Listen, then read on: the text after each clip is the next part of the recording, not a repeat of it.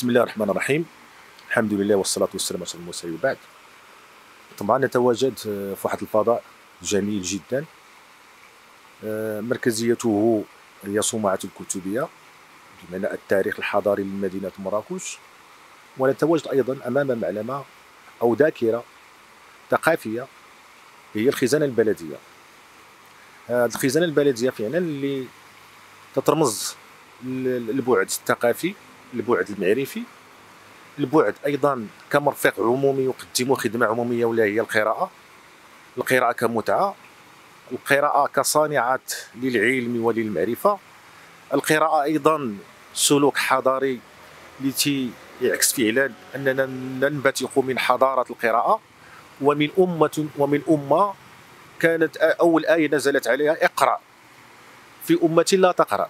ومع ذلك فهذا المرفق العمومي الآن اللي داخل في إطار بسبب الحاضرة المتجددة اللي طبعا تنتمناو تعاود فيه النظر وتسرع فيه وتيره الأشغال باش نرجعوا فعلا هذه المعلمة لمدينه مراكش ونرجعوا هذا الفعل التاريخي هذا الفعل ديال القراءة داخل المجتمع واللي خص أصلا يكون تستجب للتطورات ديال تطور المجتمع التطور الحضاري التطور التكنولوجي.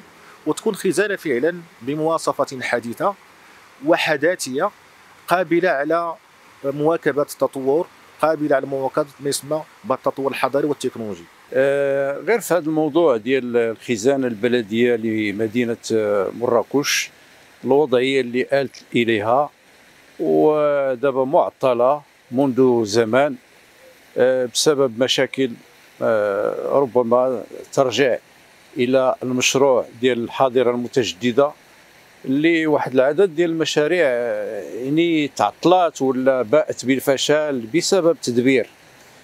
تدبير آه، سيء ربما. آه، لذلك أنا كنعتبر بأن الخزانة البلدية في مدينة مراكش يعني عاصمة المرابطين ومهد الحضارة والتاريخ المغربي والثقافة يعني ما يمكنش نتصوروا مدينة بدون خزانة بلدية. وهذه الخزانة البلدية لعبت واحد الدور مهم في تنميه الوعي الثقافي في المدينة.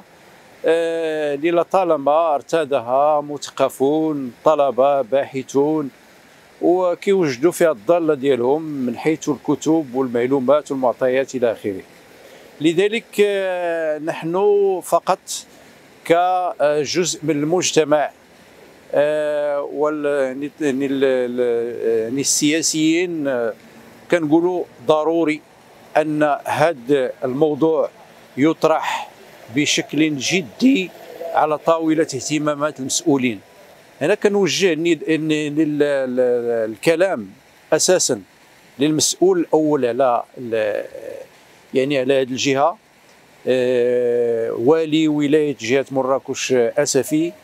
على عمدة مدينة مراكش على رئيس مقاطعة جيليز على مندوب الثقافة على كل الفاعلين السياسيين الإداريين المدنيين على أنهم ينتبهوا لهذا الموضوع.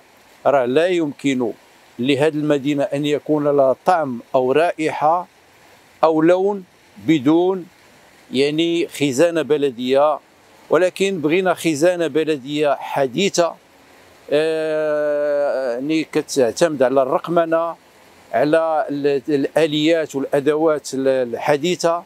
ماشي كيف كانت سابقا؟ هناك الخزانة البلدية اللي مر عليها الآن أزيد من أربع سنوات.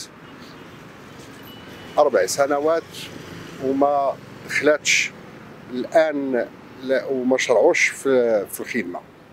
وخلات واحد الفراغ فراغ كبير على صعيد الأنشطة الثقافية والمبادرات اللي كتقوم بها مجموع الجمعيات الثقافية في مراكش. الرأي العام المراكشي طبعا يتساءل حول سبب هذا هذا هذا التعثر في تجهيز وإعادة هيكلة هذه الخزانة واللي كيف قلت في البداية مرت عليها الآن أزيد من أربع سنوات. الأمر يتعلق بطبيعة الاهميه اللي كيوليوها المسؤولين على الشأن العام في مراكش لأن المساله الثقافية بوجه عام. واللي شكلات واللي الآن واللي كتشهد واحد التراجع كبير على صعيد الدينامية ديالها. في الوقت اللي كانت مراكش مركز إشعاع ماشي على الصعيد المحلي ولكن على الصعيد الوطني بشكل عام.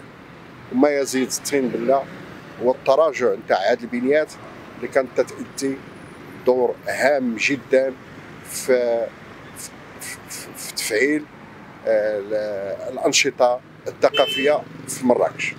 إحنا في مدينة مراكش كطلبة ديال جامعة القاضي عياض مختلف الشعب ديالها. كنعانيو من انعدام الخزانات والمكتبات. حين فاش كيبغي الطالب مثلا أنه يدير واحد البحث ولا ال PFE ديال ال soutenance ديالو كيعاني باش أنه يلقى مراجع ومصدر المعلومة. واخا كاين الانترنيت وكاين بزاف ديال ديال المصادر ولكن الأغلبية ديال الكتب اللي كتكون فيهم المعلومة اللي غادي تفيد الطالب كيكونوا بالفلوس. واخا في الإنترنت. وشحال هذه في مراكش كانت واحد الخزانة سميتها الخزانة البلدية. كانت حدا كتبية جردة اللي ورا الكتبية ودابا راه سنين وهي مسدودة. وحنا كطلبة كنعانيو من أننا نلقاو المعلومة ولا نلقاو المصادر ديال المعلومات. وما كرهناش أنه تحل شي خزانة في مراكش باش أن الطلبة ما يبقاوش يطيحوا في هذا المشكل. و بيان سور حنا كلنا كنعرفوا الطلبة ديال اللي كيقراو في مدينة مراكش هما طلبة ديال مدن أخرين. آه، كيعانيهم بزاف ديال الحويجات ابار أنهم يتزادهم مشكل ديال ديال مصدر المعلومة اللي هي الخزانة. يعني حبذا لو أنه يديروا لنا شي مكتبة ولا شي مصدر ديال المعلومة ولو يكون غير صغير. في أي بلاصة في مراكش المهم هو أننا نلقاو منين أننا نجيبوا المعلومة ونلقاو مصادر ديال ديال المعلومة.